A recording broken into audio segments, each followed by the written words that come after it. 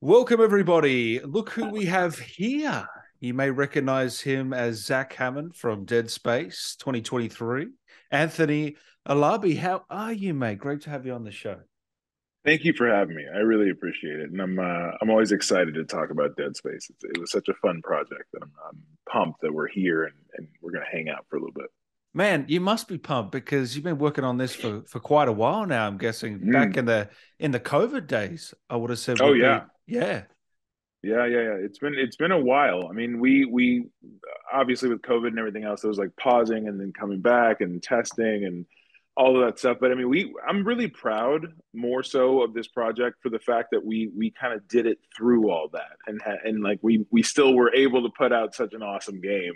Uh, despite you know all of the roadblocks with with personnel and and and COVID and just like just along with the other complexities of making such an epic kind of uh, video game.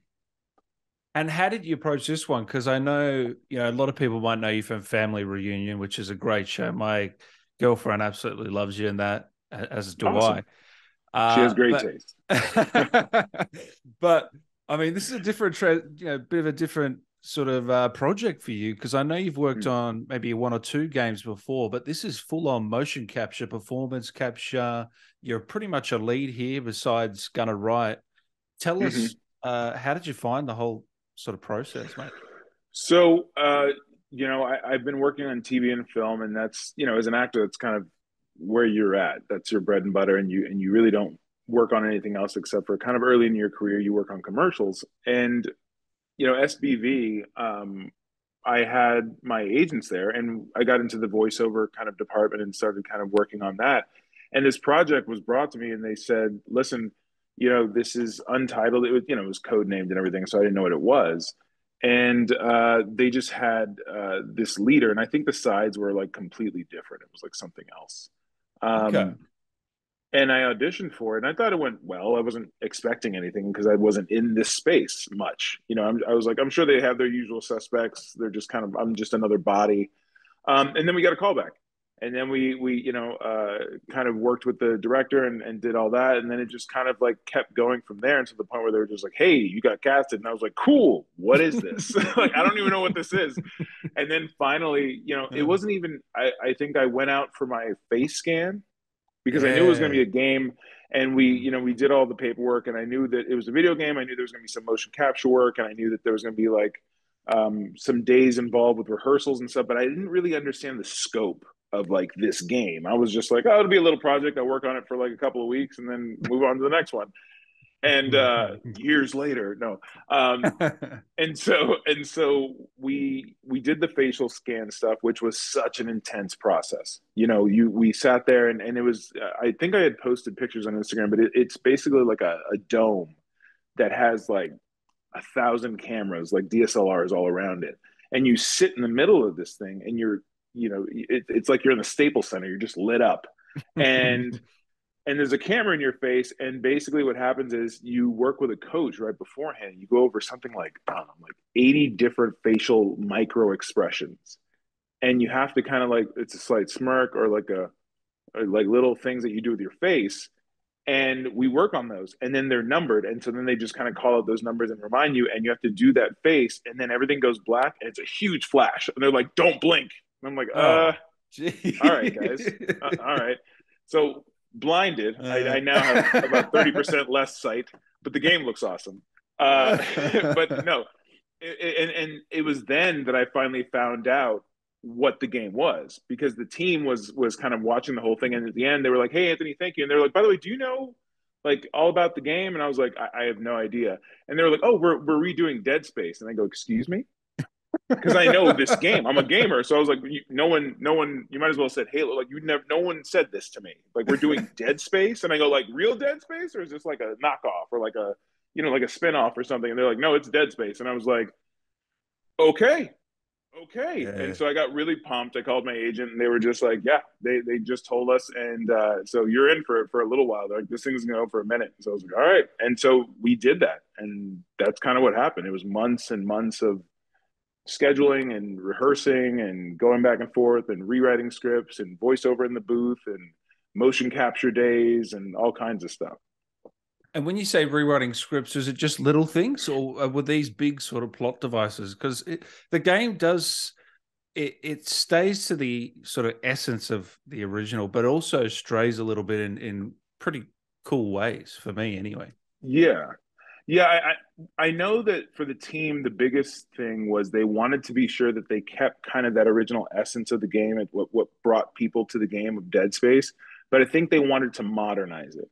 And mm. I think hmm. they wanted to kind of free up some of the parts that seemed very stilted or very um, rigid in implementation during the game. They wanted to, that's why they brought up like the com screens and like we have those things now with like the, the screen and to kind of make the characters more mobile instead of having to kind of always find a station or like be, you know, you know, just uh, locked down to actual reality. I think they modernized the tech a little bit. They kind of freed it up to give the characters a little more freedom in moving around in that world and to give them a little more life.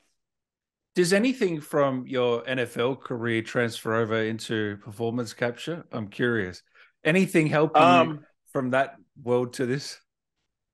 Tight pants, I think. no, uh, no, no, no. Uh, no, it was. It, it's uh, the the biggest thing is is the team factor, and I think yeah. um, you know being in the NFL, they always talk about since you start football doing your one eleventh, doing your your small part, your small part of the big machine, and realizing how important that is. No matter how small you think it is, it's all important to the grand kind of whole. And I think I brought that mentality to this because I realized that even though Hammond is a significant character, there are other things that come into play that you're not a part of, but maybe you're in the background, or maybe like it, it, it like kind of is a wink to something that happens later in the storyline. All of those things really help to kind of one check your ego, right? And two, it helps to kind of push your work ethic because you know you're working towards something with a team of people. And I think that is kind of what the parallels that I found with football and with this is the team aspect of having my team of actors that we worked with, having the team from EA, motive and and just and just like everybody working together to kind of do the thing. And really and it was a real collaboration. I mean there were times where we'd film a scene four or five times and then Darrow would, would come out our director and he and he'd go you know I liked it but it just there's something missing and they and they'd go huddle with the team for like 10 minutes come back to us and then they'd meet with us and present the new idea and we'd say yeah that'd be great but what if I did this and, and they were always open to that and I really appreciated that part was that they were open to the actor saying I can't justify that in my character because of X. And so mm. I need mm. him to do this. And they're like, okay, let's do that. And then from there, we'd brainstorm and we were able to kind of come up with something that was special and fun and kind of satisfied everybody, but still had what gamers wanted. Well, that's a sign of a good director, isn't it? Someone that's... it is. He was the best. Oh, he was yeah. the best. Yeah. yeah.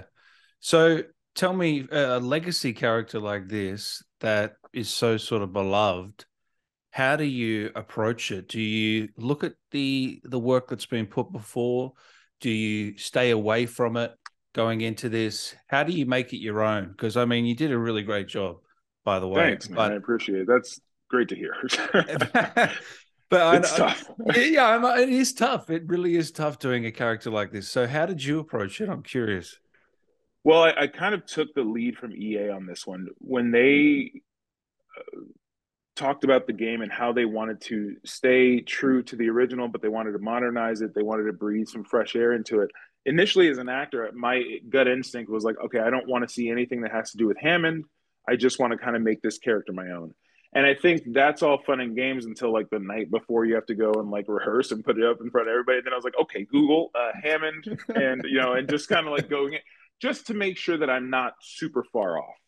Yeah. And I think that was the biggest thing was just it was it was more of a check for me to kind of like go back and see what the previous actor did, the choices they made, how they kind of embodied who this guy was and what he did. And then I took that and I said, okay, I can sprinkle a little of that onto what I've already created, the work that I've done. And that way it's it's more it's easier for people to digest because there's a little something there that's recognizable, but it's it's all new you know and i yeah. think that's what i did is i i kind of created zach the way i wanted him to be and then went back and looked and said okay i can i can kind of slot those smaller things in there and, and kind of get that part uh that part done you know what i mean yeah so i think yeah. that's the that's that's kind of what helped me to to get this uh character kind of like fleshed out in my own mind and to kind of get him in my body do you remember a moment on set or before you started shooting where you start, sort of embodied the character? Like you knew, I've got him now. This is this is who I want. Yeah, and it was it was kind of I think it wasn't during rehearsals, but it was on our first day in the suits with the helmets on, and we were kind of going through it, and I just kind of realized that it wasn't Hammond. Just felt he felt a little too loose, right? And so a little thing that I did was I was just like, and and I do this with some characters if I feel that they have a certain personality type, and it's kind of I don't know if this is like if I can curse, but it's yeah, like yeah. having a rod. It's like having a rod up your ass, right? And that's what they say. Like they say, like people who are very like they're type A, and it's just like they're just this. And I literally did that with my body with Hammond, where it's just like it's as if his ass cheeks are clenched and his posture is always perfect. And it really helped because when I did that, it immediately kind of changed the voice it changed the rhythm of my voice and it changed kind of um, the intent of my voice so now instead mm. of it just being hmm. like you check your person you check your file access instead of it being something like that suddenly he's up here and it's like you track your file access and it becomes something a little more official something a little more he's not the designated leader of this group but he presents that way Mm-hmm. And that's why, you know, there's there in all of this chaos and in all of these things that are going on, there's this solid rod of a of a of a man, of a character in Hammond, where he's like under pressure, losing his crew, losing people, the Ishimura is going down, there's aliens, there's all kinds of shit going on, and he's steady. And he's trying to be steady and he's trying to be here and he's trying to tell people what to do and, and give Isaac the instructions that he needs and and all the meanwhile trying to cover his ass and make sure that he's not the guy that's you know or or um, being accused of you know being a traitor or whatever it is so I think that really helps to kind of steady the the, the game with all of this kind of chaos going on, and, to, and which makes it more remarkable when in the end when he just fucking loses it. you know what I mean? I, I, I really, like, oh man, even Hammond lost it. Like that's it, it's over. You know. I really want to talk about that scene now. Spoilers for anyone who hasn't finished a game or gotten to that mm. part, but the demise of Hammond is is quite a. you go out with a laser glory, man. And is oh, that? can you it. tell me is that that's performance capture that whole thing or yeah? So that tell was me. a really really fun day. Oh, you know, on imagine. set.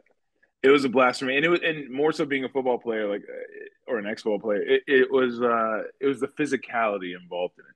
So we had our stunt guy come in, and he naturally had these big, you know, things, and he's acting like the monster and, and doing this thing. Yeah. And they put me in this in this kind of like this harness that went over my shoulders, like under my armpits, and like it was like two handles here, right? And so they put the the these big tall things so that way I knew where to look, uh, where the monster was. And when that part where the monster kind of like digs into Hammond and like jerks him around and like finally like yanks him, and then I have to kind of grab it by the throat and push it back. It, we did that like 15 times and it was just awesome because I and the guy initially, you know, and he was a smaller guy. He's about he was like five eight, you know, he was he was like five six, five eight. I couldn't have told like grab me. Yeah. Yeah. And, and he was like yanking me, right? And so it was awesome because the first time he did it, he kind of grabbed and he was just like a little bit, I go, listen, I used to be 360 pounds. You're gonna have to move some weight today. Yeah, you know what I mean? I was like, I was like, I don't weigh that anymore, but the the mass is still there. I'm dense. Like you got it. You got to yank me. And so I, t- when he had that freedom, it was awesome because when it got to the part where it was like dig in, he grabbed and it allowed me to like really play being yanked back, dropping the gun, and like just kind of letting your body go as you're being taken uh, by this alien. You know what I mean? So we yeah. we practiced that. I lost my voice that day because I was screaming so much. I ah! and then doing this whole, you know. Um, but it was a really fun moment to kind of get to be out of your mind a little bit and kind of improv and make up like these things that you're just kind of speaking to yourself because you're you're losing it a little and you're replaying old scenes in your head of like this is no way there's no way this why is it and you're delusional and you're and you you've kind of lost it so that was a fun thing to play against because it had to be so steady and so you know, with it the entire game. It was fun to finally lose my mind and to end it with this big physicality and and to take all that frustration from losing uh, uh, Chen and losing Johnston and, and and kind of having the the the frustration with Daniels and, and everything else and all this stuff going on and to finally just be like I'm gonna fucking kill this thing and grabbing it by the neck and just being like, here we go, and we're just this is how we're gonna die. Then I'm taking you with me, and I think it just it ended in this righteous, amazing, like just blaze of glory where it's just it really was. An, an, epic scene wasn't it? And, and it was so is, fun yeah. is isaac clarke is Gunner Wright with you in that scene or how does his yes. he is? Yeah. Gunner and i were, were together the entire time. Um um we basically yeah we were we were there the entire time and we, and we kind of worked on it. And he he's so giving as an actor. He always wants to be there to help. He always wants to be there for eye line and to kind of help deliver lines to you so that way it feels as real as possible. And you can tell he's been in all these games. It means something to him and he cares about it. So that was so nice to come into as an actor such a supportive and kind of like welcoming environment. Man it sounds like you had a ball, man. It really does. I, I, I literally I, every time they, they reach out, they're like, Anthony, thank you so much. I'm like, cool, cool, cool, cool, cool. When are we doing another one? another one? Are we, gonna do another one of these? Because I really uh, enjoyed it. Yeah. I feel like they're working on an Iron Man game, so you got to sneak your way into that motives. Uh, I got to get into game. it. I know. I got to get in. I got to get into these these uh, bigger franchises because they are fun. They're a lot so, of fun, man. So, what was the cast like? You mentioned Gunner Wright, but there's quite a, a nice ensemble in this one that you work with. I, I know there's a few different scenes with uh, the different actors. How did you did you meet them all on set? I'm guessing. Yeah, we all. So we what we do usually before we uh, really start kind of getting into it is we we do our table read day. So we all kind of zoom in um and and do it that way where where we zoom in and we and we find sorry my kids So like, you, you, know how it goes. uh, uh, where we all where we all kind of uh, where we kind of meet and we talk and we and we go through the lines and and just the director and the creative team they kind of get with us and tell us like what the expectations are what really happens in this scene they kind of show us mock-ups of what they have, which is just super rudimentary, like just block figures kind of moving through a space, and then the alien comes, and then this happens, and they kind of just give us a timeline, so that way we understand like the feel of it and what's going on, and and then you also go through all the alts kind of in a script where it's like if the player does this, then this happens, and so we have to film out a different scene if the player chooses this or chooses that. So that's a big thing too. Is they wanted a lot of player freedom in this to be able to kind of choose your your way through and to get a genuinely different response. And it's not just something that's like we threw in a different word and now it's this. It's it's now a completely different path if you go that way. You know. Well, I, I always try to push the game like the scene where you're in the captain's quarters, you know, uh, and you're speaking with with Isaac Clarke That nice exchange there, really great scene yeah. I uh, I sort of just stuck around and tried to annoy you. I was just sort of touching you, and there's a couple of sort of sort of dialogue that I think people um, might have missed as well. So I always try oh yeah stuff like that. I, you, I did all the scenes to play around. Yeah, yeah, play around in those. Yeah. Yeah, if anyone wants to watch your work, I mean, I've got a video up with all most of your scenes. I think it's all of them. I saw it. Yeah, and to be honest, I, I just put it on my Instagram because I loved it so much. Because my, my wife you. showed it to me and she was like, "Oh my god, this is so amazing!" And I was like, I, I just did a post this morning for the the you know the whole game and kind of just thanking everybody. And then in my uh, bio, I put a link to your videos uh, of Hammond. I was like, Thanks, if you guys want to see the best scenes from Hammond, just you know go to Dan Allen's YouTube and it's there. It is. So uh, you're you're front and center. Buddy. Thank you, brother. You, I appreciate no that. Hey, I got some fan questions here that I might get to a few of them. Uh, first one's from Awesome HPT. What does it feel like, Anthony, to be stabbed by a necromorph and then blown up by a singularity core? uh... Numbing, pretty numbing.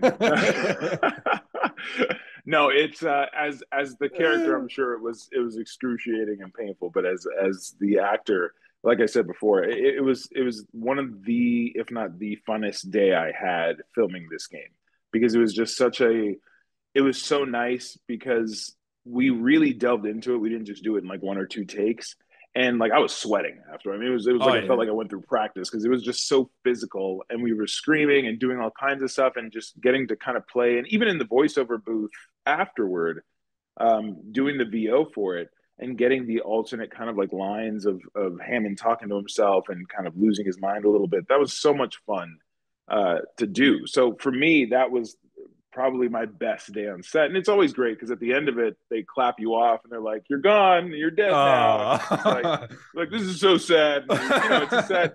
It's a lovely day, but it's such a sad day because it's like the last time you're going to see everybody if if this is it. You know what I mean? Did you? So you knew about the death scene? I'm guessing when you started this whole thing. Or? I didn't. I didn't know exactly when I was going to to die. Um, it came out finally, I think in like our third or fourth session. They were like, "You you have like one or two sessions left," and I was like, "Wait, what?" And I was like, "No, no, no, no. come then, on." I know. I was like, "No, come on, guys." And Rewrites. Then, uh, yeah, right but it was nice. It was they, they let me know and, and how I went, and then obviously like with voices and everything else. But it was you, you have a couple of sessions of voiceover afterward. But it was just it was so nice to get the a, a really nice send off and then get to see everybody again during the voiceover process. But I I love those guys. This is overall, including television and film, one of the best projects I've ever worked on. It was it was definitely a career highlight. That's amazing. I, I wanted to know yeah. what sort of direction they gave you for that particular scene? Did they say, mm-hmm. look, he is a bit, he's getting a bit loopy here. Now's the time yeah. to sort of, yeah. Darrow, Darrow is he's he's such a professional, um, and he's just so experienced in this space that he kind of knows what gamers are looking for, and and he knows how to say kind of true to the vision of creative, right? Mm. So with that, we we I mean, Daryl gets in there and he's like he's in the trenches with you. He's sitting there and he's just like and he'll call it out. He's just like, good, good. Now you're feeling this and you're, you know, this and that. And, and, he's just watching, you know, and just like really into it. And I think we talked beforehand and he was like, listen, everything's kind of come to a head for you here. And mm. it's come to, and, and I took it as the, the pot of boiling water has kind of bubbled over. And this structure that I had in my mind and put in place to stay calm and stay steady and be a leader, the dams have broke. And now it's all just kind of pouring out so all the fear I had, all the anxiety that I had, all of uh, you know, all of the the the issues that I had with the mission just come pouring out now. And so I think mm. that's that was the freedom and the fun of being able to do this last scene was was being able to kind of sit there and say, like, that's it. I have nothing to hold on to. I can lose posture. I can lose my voice. I can lose my mind. I can kind of just be like all over the place and manic and heavy breath. And but I think before we did, I almost passed out because I, I, think before every scene we did, I I took ten seconds to just like do this heavy, heavy breathing, so that way it's in your body that you're kind of loopy and you, you're a little off center and things are kind of not really, you know, jiving. And it yeah. helped. It helped with the performance. I you got to get some behind the scenes of this. I, I, I hope they've got something EA motive. I know. I hope they were filming a little bit, so I hope there's some some BTS on this. I I on on the on the uh what I posted on the reel that I posted. There's a few pictures and some video of us all hanging oh, out in our in our motion capture nice. suits and with all the stuff. So that was fun, and I and I posted that, and I think you know people will get a kick out of that. But other than that, you're so busy, you just don't have time to sit there like try and record. So I never got a chance to. Like, I was like, I wish yeah. I got more, and I just didn't. And you want to be a professional. You don't want to be the guy with the yeah. You don't want to be a fanboy. You know what I mean? Like, hey, hey, real quick selfie. Yeah, it's like, no, stop. but to also touching on that, how he goes a bit loopy. You've also got to have. I feel like you struck the right balance between. You don't want to go too far with it, otherwise it mm-hmm. doesn't look like it's not the same character. You still got to have. It's not. Do you know what I mean? Yes, absolutely. And Darrow was he was pivotal to that because uh, as an actor, obviously you want to feel all the feels, right? You're like, I want to go there. I want to do this. I want to do this whole thing. I want to, it's a dramatic breakdown. And he's like, cool, cool, cool. It took like 25% of that. And I was like, all right, cool. And so, yeah. you know, he was able to kind of reel me in a little bit and, and, and structure it and, and form it uh, in a way that worked out very nicely, that it was in adjustment to the character yet you could see he is having a tough time and he is having a breakdown, but it stayed true to who Hammond is. You know what I mean? It's mm-hmm. Hammond's version of losing his mind. It's not just like anybody. Anybody, yeah. Yeah. Uh, question here from Nico. What was your favorite moment in Dead Space or from Dead Space and why? Um, well, obviously the death scene that we just talked about was a lot yep. of fun. Uh, I think my the one of my favorite moments was kind of our initial everybody on the bridge of the ship. Um, yeah, I loved that because I loved that we were all together. Everyone was alive.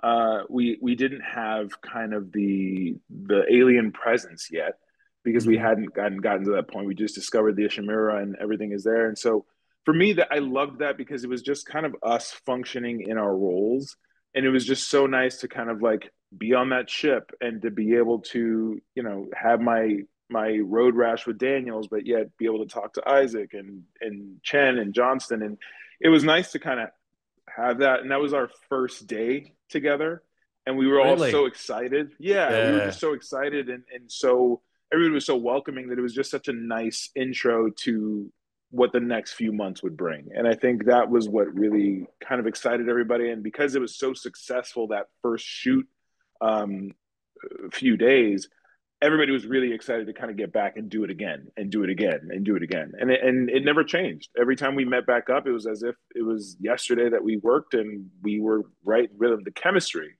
um, Yeah. with this cast was fantastic. And it's all because they're all good people. Yeah, that's well, that's that's a big part of it, isn't it? No um, Yeah. egos and stuff like that. No egos, none. And if only the shit didn't hit the fan so quick, and there was more scenes of you guys just being a crew. I know. I know. Uh. It's like you just want to see this story of these guys flying through space, and then it's just Star Trek. So hey, did you look at? uh Did you see the reviews on this game? Because I mean, it's getting some astounding reviews across the oh, that's awesome. I I make Yeah. it a point to never do that. Um, yeah, I was gonna. I, Ask I hear about it from like friends and stuff, right? Mm-mm. But I, I try not to. And the same thing with movies. I'm not one of those actors like I don't watch myself. I'm like, yeah, I watch myself. I'm from football. Like I study the film. you know what I mean? And and well, you want to see what you I- did right and wrong. I I always 100%. Yeah. Yeah, yeah. And so I looked at the game clips. Um, I looked at a lot of like gameplay. Uh, a friend of mine was like, "I'm playing as you right now." And we Facetime, and he showed me, and it was awesome. Uh, and so that is kind of what I paid attention to.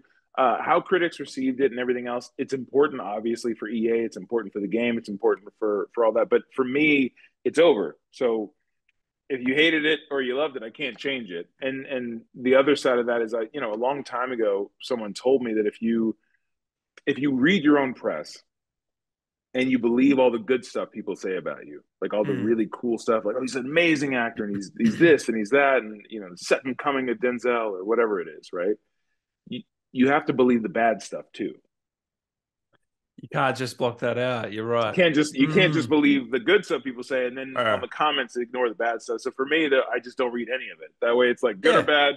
I don't know. It's not really my my deal. And and that's a skill I learned from football because you know as a rookie in the NFL, Oh, you start yeah. going down a Google rabbit hole and you're like, what do the people say about this in my game? And and then you realize you're driving yourself crazy and you just stop. So I think that was the biggest thing is is I learned I took that from the NFL of never really believing or looking into the press. You know, just kind of Yeah. stay with your job, stay steady. As long as you felt you did everything you needed to do, then that's all it is. If they hate it, they hate it. If they love it, they love it. It's not really my problem.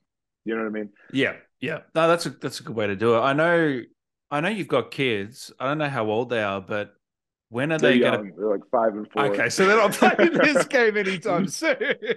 my son, my son just got freaked out because he watched Batwheels and it was, it had like a, a you know ghost. Like he freaked out. Like no, they're not playing this game. I'll never Uh. get any sleep. They'll wake me up all night. when when they're eighteen. Yeah, you might have a Yeah. playthrough with them in ten or so it's like years. bringing out our old Nintendo. You know what I mean? Like, like, here you go. This is your father back in the day. I used to used to be somebody. no, this that'll be when you said this was my first game. Now I've done ten. You know, I know, right? That that that from your words. yeah, exactly. I'll, I yes, please, I'll take it. Um, Uh, Yeah. yeah, no, they love it. DN, do you think they they will remake Dead Space 2? And if so, would you like to be a part of that game? I would. I, you know, I don't know what's going to happen because I died, you know, in this one. So I'm not sure what they would do with that. If they would either, you know, make me a new character or have me voice something else. Um, if they made it like a prequel or something, I mean, I'd love it, obviously. Yeah. Um, but uh, yeah, I, I would hope to be called in for it. Uh, but uh, you know, obviously they have to stay true to the story and and and do all that. But uh, no question, I would I would work with these guys all the time if I could. Michael says, How many bloopers were there during the voice acting sessions? and what was your favorite voice lines? Uh, so many. There were so many. uh, honestly, it, it's tough because there's so uh, you're you're talking about technical things technology, space, and like security protocols. So there were so many lines that were just like complicated and and had these like difficult words to string together. And so there were so many bloopers where we just kind of sound like we're like because, because you're just sitting there, you're like the Ishimura has shut down, security protocol calls for it, blah blah blah, and I got yeah. your key card, and therefore, and then so it's just this exposition, and you're going through it all, and you, they got to get it in one take. And so you've been talking for about uh. 30 to 40 seconds. And then all of a sudden you fuck up that last line and you're like, no, no. And so you got to start over all over again. So there was a lot of that uh. going on. Uh, but yeah, and, and, at the end of the day, you're just worn out. You're worn out because there's just the dialogue that goes into. I mean, the script is like, you know, the dialogue mm. that goes into it is is so dense, and and and you have to kind of be on it and there's no you can you have to be off book. It can't be anything like oh you're sitting there reading because it's your motion capture. So um that was that was the thing that surprised me the most. You know video games i was expecting like oh okay i'll have like a, a line or two here and there and then i'll just like you know go in and act like i'm shooting something and it'll be easy. And then you get the script and you're like holy shit. Like i have to i have an entire page speech here. You know what i mean and so yeah. that was the biggest thing. And then immediately it informed me that like, okay, you got to get serious. This is you got to like dive into this the way you would a movie. And and that's just the way I treated it. I just treated it as if I'm prepping for a movie role. And you know what scenes that you guys are going to do the next day. You kind of go over it. You make sure you got it down. They do a great job with rehearsals, and then we just kind of go. But all that being said, there were so many bloopers, and that's why I hope I hope they uh, they release that if they have it. I know one time I was I was running off of a ramp when Chen comes back and an old football injury flared up. So I'm running down this ramp and we're doing this thing, and then all of a sudden I'm just like, and I'm limping, I'm limping. One second, one second. I'll, and it was just ridiculous because I was like, great, I get hurt doing a video game. Didn't get hurt in the NFL, hurt during a video game. So yeah, but it, it was so much fun. We, I mean, people fell like because you're you're tripping over. Now imagine there's no. We're not working with a ship. You're working with basically no. an an empty an empty like airplane hangar that has yeah. neon green tape on the floor that tells you like this is a corner. So like look around the corner, and and so you forget where things are. So people were tripping over boxes. You know, like things happen because you're just yeah. you're you have this imaginary world that's made up of you know basically C stands and and you get and, you get you know. fake sort of guns, don't you? Fake weaponry. Yeah, or, yeah, yeah. My my rifle must have weighed thirty five pounds. It was like some. I don't know. Bob Vila came out of retirement and just carved this thing out of solid oak, but that stuff was like there. it was the biggest gun. It was like the size of my thigh. I was just like, this thing is. They wanted to make it work. Oh my god, I was like holding it, and I remember we when we be uh, waiting between kind of takes or between scenes, and we we always sit there, and Chris and I, Chris Bottini, he who plays Chen, he he'd sit yeah. there. We're both holding our guns, and we're just like, okay, okay, all right. And then you see like the handlers would come over and be like, "We'll take those for." We're like, "Thank God," because these things. I, and I was like, they couldn't. Uh, this couldn't be made out of foam, like styrofoam. No, just uh, they was, wanted you. They wanted very, it to feel like the real oh, deal. It felt. Eh? it felt. It definitely felt. Uh, no, it was good. I, I, think what people might not realize is you probably have some of the most voice lines in the entire game, probably besides Kendra Daniels, Bridget. I, I reckon you're second to her. You might even have more than Isaac. Uh, Gunner yeah, Wright, or yeah. up there. Yeah, definitely. I realized that second session because I thought the first session we had, I was like, okay, this is a lot, but like, I, I guess I'm fine. And yeah. then I, I looked at our second session. I was like, oh, because they and they gave us more of the script, and I was like, oh yeah, I'm I'm talking all throughout. Okay, got to get this down, you know. Yeah. And so the biggest fear that creeps in is stay consistent, right? Like don't change mm. the voice. Like you got to stay consistent. So before uh, every session that we had, I would go back and kind of like listen to myself and just make sure that I, I was in that pocket of what Hammond sounded like. Because I didn't want it to be where you're listening to the game and like in the first half of the game, Hammond sounds like this in the second half, all of a sudden it's like he loses the base or he's like too basy, you yeah. know, or or whatever it is. So uh, that was tough. But yeah, I, yeah, I, I've, I have had a lot. I've had people on that have worked on a game for like five to six years, and they might not work on the character for six months or whatever, and they have to hear themselves back just to get back into the voice. So it's consistent. You do. You know? Oh my god, yeah. that was the, that was the the next thing with voiceover that just got me. Um, when I entered kind of this space was I would do an audition for a voiceover, you know, a game or something. And then like a month or two would go by. And then my agent would call and be like, You got it. And I was like, God, what? What are you what are you talking about? and she was like, Yeah, you know that one this this one game you did as as this, you know, Egyptian god. And I was like, What? And then and then I go back and I and I search my Gmail and I'm like, oh, and I and I click on my submitted audition and I was like, oh, that oh, whoa, that one. like oh, okay. Uh, and then and and in the audition, you might have done it a couple of different ways. You did it with a British accent, or you just did it straight, and then you have to kind of ask in, in this awkward way and be like, what do they want? Like, which one are they trying to go for? You know, yeah. and so it takes a lot. Like voiceover is different in that way. You kind of remind yourself of like where you are or what what they're looking for.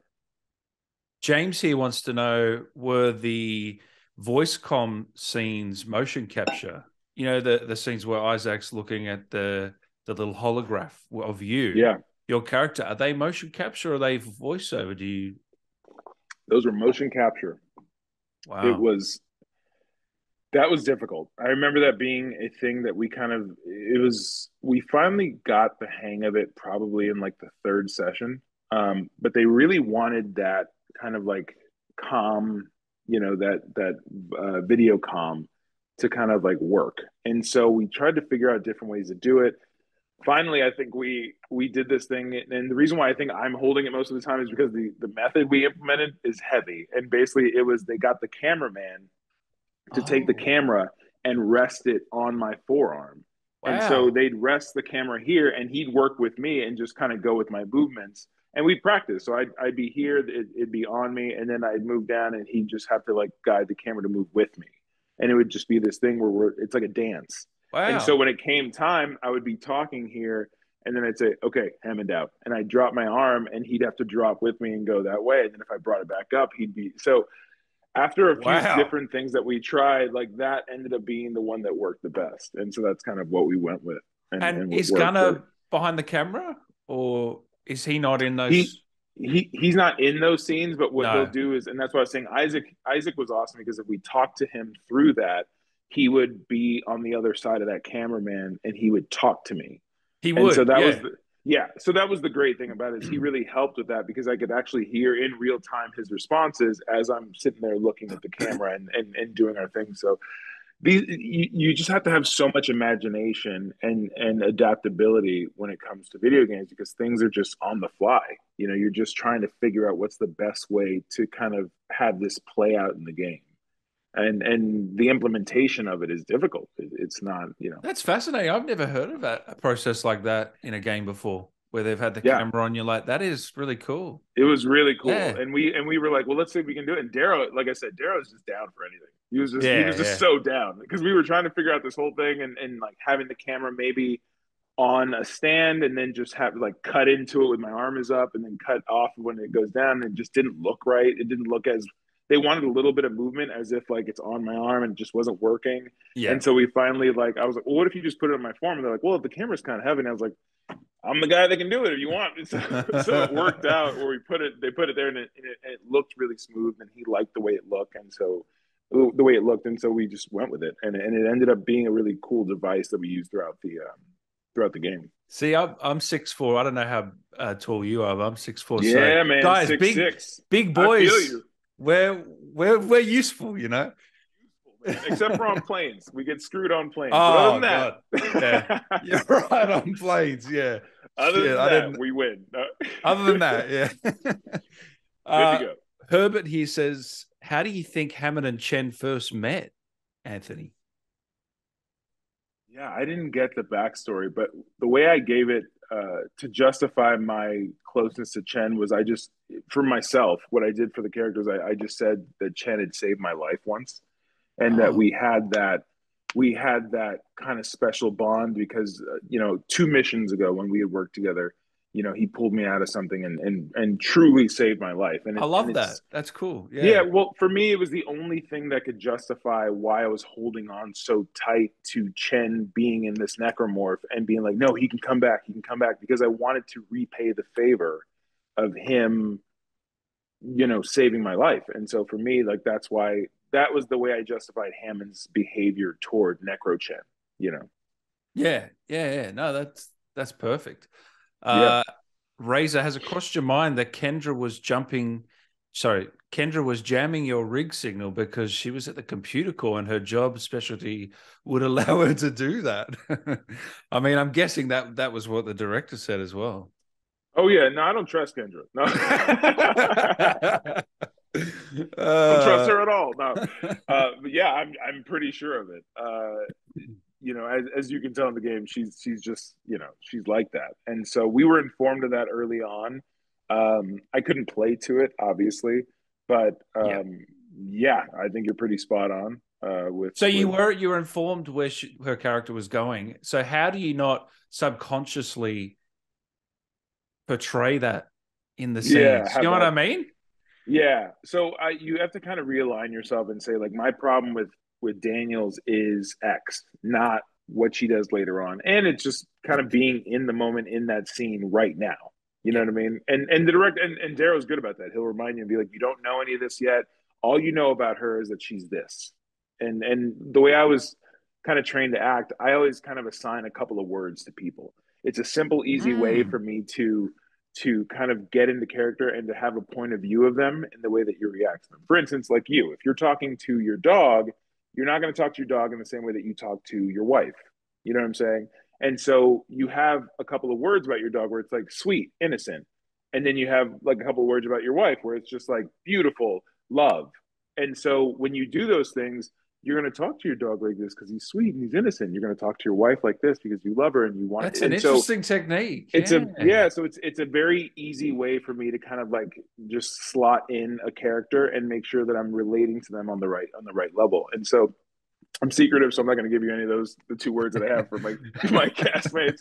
But I had two words for Daniel, and that made it Daniels, and that's what made it easy to kind of every time I addressed her if she said something that was even seemingly innocent to someone else, Hammond took it another way because of the point of view that I have of her.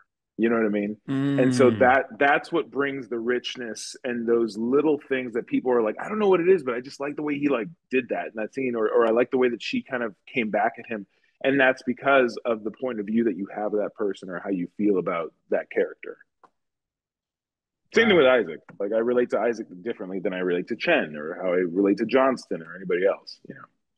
I love that. I've, I, again, I've, you, are teaching me new things today. I haven't heard, that, haven't heard that technique either. I've had over hundred guests. I mean, yeah, and that's that's a very interesting way of of doing it.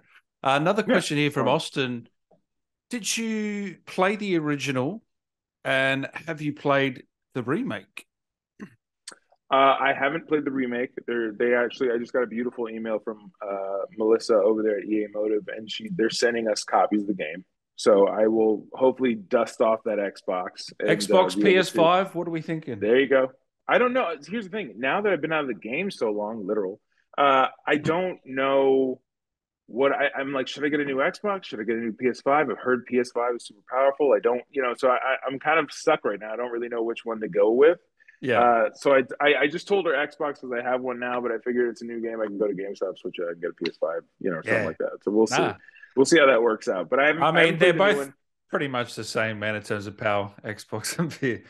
It's just that's what I figured. Yeah. Yeah. You know I always like. I you know big guy, big hands. I always went with the Xbox because it was a bigger yeah. controller and it just felt more natural in my hands. But yeah, you know.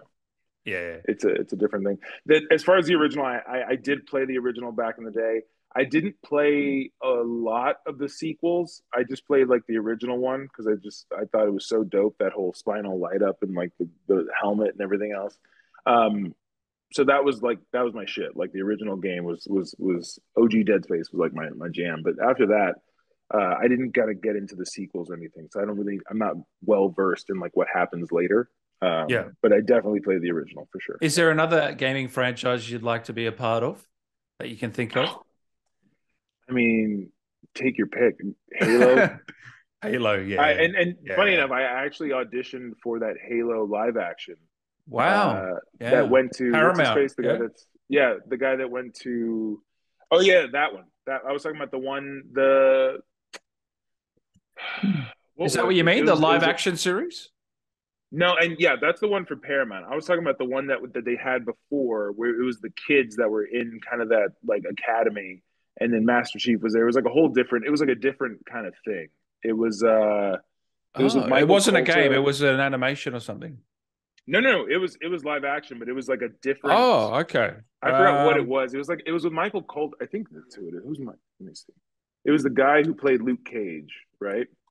Is it Landfall? Nightfall? No? That might have been it. Nightfall. That's it. Nightfall. I think that's what it was. Yes, it was Nightfall. So that one I I had actually auditioned for that. Oh, for that role, right? For that role. Wow. And he he ended up getting he beats me on a lot of stuff. So except that this one, uh, but motherfucker. No. But but he uh uh you know he he did a great job in that, and and I was so into kind of that whole thing. But Halo is one that I've loved since college uh, when we had those original LAN parties. Um, yeah, man, I love that. Uh, God of War Oh yeah, that's just super dope. I would love God of War would be amazing. Yeah. Um, so what what was the one I liked? It was the Dante, and he had the guns, two guns, and the Devil May Cry. Devil May Cry. God, I love that game. That game was so dope. I thought nice. I love that game. Nice. So that, and then obviously Call of Duty. Like Call of Duty is just yeah. Any, anybody wants to kind of be in that one. It's a nice little yeah. drop. But yeah, it is. But yeah. uh, but yeah, those you know naturally those those are the games that I kind of gravitated toward. Um, I loved uh, what is it, Dante Uncharted. I loved Uncharted. I, I played oh, those. My favorite those are all series. Yeah, yeah, great. Um, You're picking some good. And, picking some good stuff here. Yeah, I know. I mean, you know, it's good. They're, it's it's all gaming. It's it's. I had. I think I had. You know, original Nintendo, Nintendo, uh, or NES sixty four, N sixty four uh, Super Nintendo. I didn't have a GameCube, but I, I played the GameCube a lot because my buddies had it. Uh, so you grew up, you just then, grew up around it all. Ton of it. I, I think I even had an Atari Jaguar at one point. Remember the old like the Atari's attempt oh, at making wow. a game console. Yeah, yeah with Sonic the Hedgehog. Yeah, so I was I was definitely a gamer for the longest time, and I've I've unfortunately I left Neverland had to grow up, get a mortgage. Yeah, that's it. Yeah. I know you love you love cooking and golf as well uh, on the side. Um, what's your handicap, man? I need to know. Uh, currently, because I, I just had a terrible round. Uh, eleven. I'm 11. I'm 11, 11 That's handicap. not bad. Yeah, that's pretty I've good. I've gotten I'm... as low as, as like nine. I, I like touched nine for like two days, and then and then it went man, right back to like. I, I, can't get to single digits either, man. I, I, it's just it's, so, so hard. hard. It is so hard. You, just, but... you have to like string together so many good rounds mm. to like get there. You know, it's tough. I, I what about you? 13, six, 14. Six foot four. Yeah, I was gonna say six foot four. For you to be at 13 and 14, that's pretty good. Guys, big guys like us are usually terrible. Like, or like 22 is the handicap. Yeah, I yeah, I, I picked up a few tips because I used to work for golf in Australia here. So okay. I, I hang around a lot of professionals, but still, I'm not even in single digits, so that's probably even worse. Yeah. But well, we'll get there eventually. Like, you know, right, right, over time. I, yeah, as long Always as I learning before. Yeah, before I'm like AARP age, then I'll be all right. You know, I think I'll be okay. but it's it's one of those things. I remember my trainer when I was with the Kansas City Chiefs. Uh, my trainer said, uh, he liked to golf, and I was like, oh, and, and I go, why don't you know you golf more or, get better? And he goes, well, if I was a good golfer, I wouldn't be a good trainer. And I was like, good point. Never like mind. That. Yeah, good, good, point. Yeah, you're right. You're right. So okay. I always take that whenever I haven't played in a while. I'm like, I wouldn't be a very good actor if all I did was golf. So, you know. and cooking, what's your favorite dish? If I'm, oh, what, what's your go-to? So just to caveat this, I'm half Puerto Rican, half Nigerian. So a lot of flavor. Yeah, wow. A lot of food, a lot of like bold flavors. So I'm and right now I'm a pescatarian. So my father, the first time I told him that, he was just like, So you don't eat meat? And I was like, No. He's like, Okay, I'll make you goat. And I was like, No, no, no, no, no, no, I, no, no meat, nothing whatsoever. Sausage. Nope, not sausage either. So uh, I had to kind of rethink the way that I cook and kind of throw in different things. I still make like uh, arroz con gandules, uh, which is a Puerto Rican dish, which is like a yellow rice that has like um, these kind of, it's almost like chickpeas in them, yeah. or not chickpeas, uh, black eyed peas, almost what they call Puerto Ricans call them gandules. And so I do that with shrimp, and so it kind of makes it nice. I also make this amazing coconut milk uh, Thai rice that has that it, it calls for cod. I do it with sea bass because sea bass is fattier and it has a, just such a richer flavor. You know wow. what I mean? Um, so that's beautiful. a good one. Oh man, I, my kids eat like I, I always laugh because I'm like my kids eat like they're at a five star restaurant because I like to cook, and so I make man. them like the in laws come over and they're like Jesus, like what is what is this? You know what I mean? and it's just it. I enjoy doing it. For me, it's cathartic. It's a very kind of it's a time where I can listen to music and just cook and maybe yeah. you know drink a glass of wine while I'm making things and doing all kinds of stuff. So my kids really enjoy uh, the cooking. My wife loves it because I, I, cook and clean in the kitchen, which makes it nice because I'm just particular. yeah, a bit OCD. So, yeah, yeah, I'm a little OCD with like where things are. Um, yeah, but yeah, so I, it, cooking has always been a, a big a big passion for me because I think it was just I love the creativity. I love um, food. You know, I, yeah. I miss being super fat. I really do. Uh, I miss it. I miss it so much. Uh, but you know, it, it's just it, it's one of those things that I enjoyed being an offensive lineman. I, I ate my ass off. Did so. you did you lose a lot of that weight from from cutting out meat, or was it just a lot of um, training? Or uh, so it had to go in stages. I was 360 when I played. I'm currently like probably 260, 265.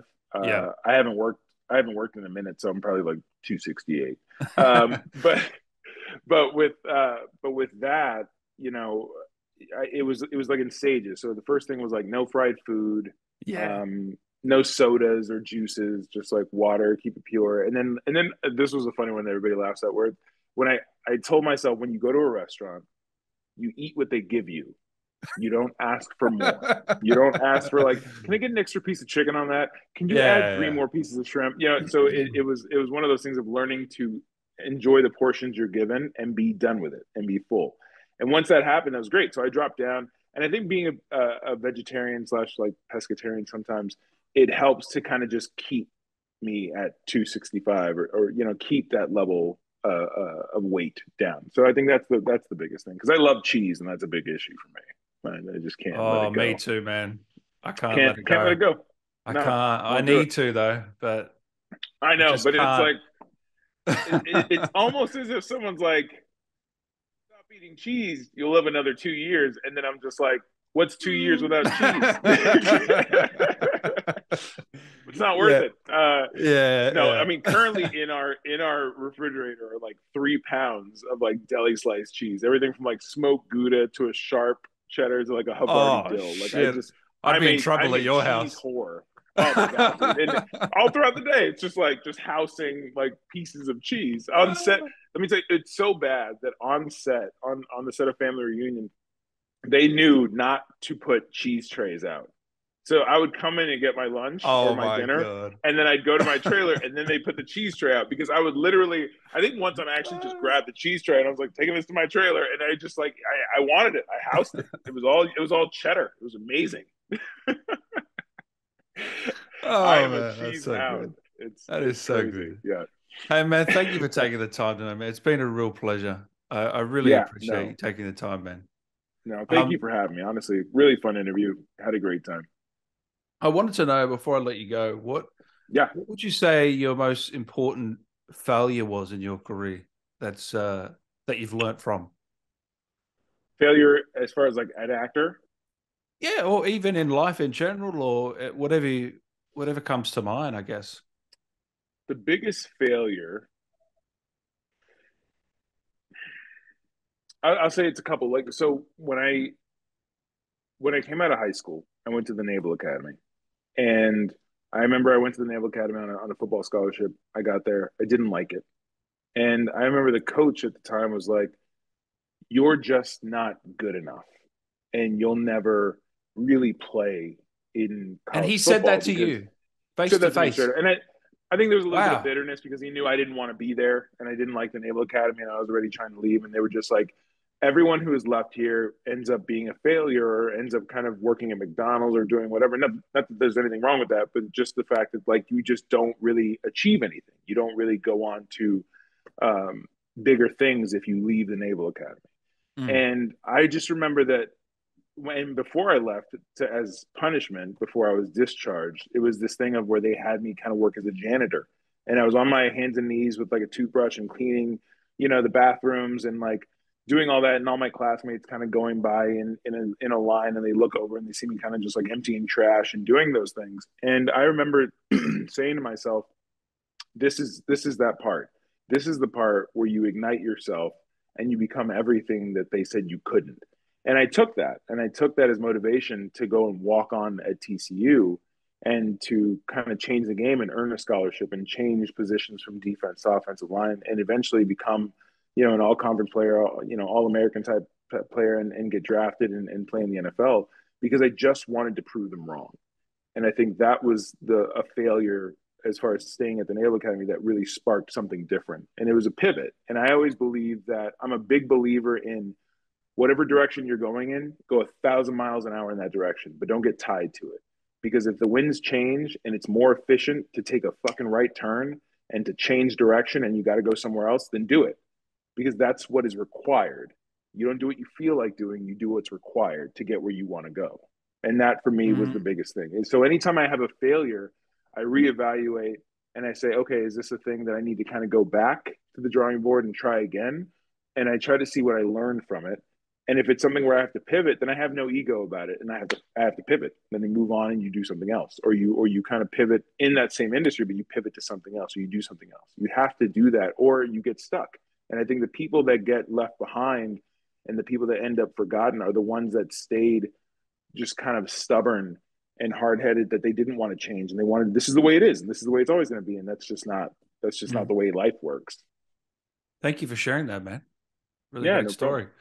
Hey, is Thank there you. anything you wanted to say to the fans before I let you go? The Dead Space fans or anyone, family reunion fans? Uh, yeah. Uh, all your projects. Honestly, uh, I just want to say thank you to everybody who's bought the game, who's played the game, who's talked about it, um, and thanks to the cast and crew over at EA. Uh, I had such a blast making this game, and I'm so glad that everybody's enjoying it. And please continue to buy it. Uh, please continue to play it and post about it. And uh, please feel free to message me or, or send me clips if something cool in the game happens or there's like a weird glitch where I'm like dancing. It, it's always fun. uh, but uh, yeah, I, I, hope you guys enjoy it as much as we enjoyed making it.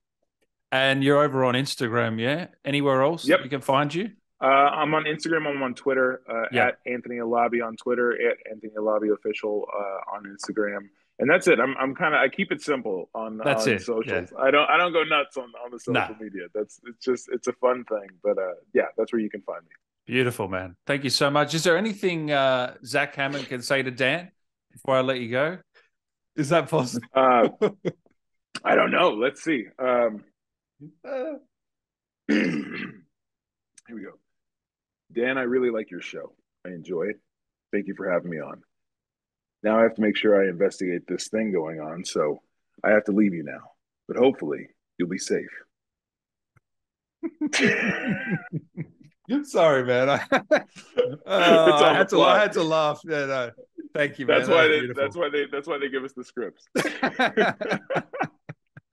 Thank you so much, man. Um, Thank I look you, forward man. to chatting it. again when you're in a in uh, Call of Duty or a big Halo great. game. We'll put it into the air. Yeah, put it in the ether. All right, buddy. Have a good one. Take Thank care, so man. Take care.